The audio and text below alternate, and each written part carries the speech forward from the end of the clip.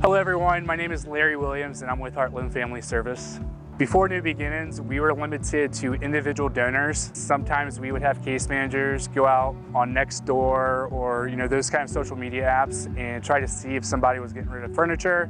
At a very small and slow rate, we, we would get beds, but it would never really, you know, quench the thirst of the need, if you know, so to speak. We the need was always there. The difference between then and now is that we're able to fulfill the need safely, meaning that we are giving a brand new product to our clients. We've provided 56 beds, and of those 56 beds, it has benefited 132 people.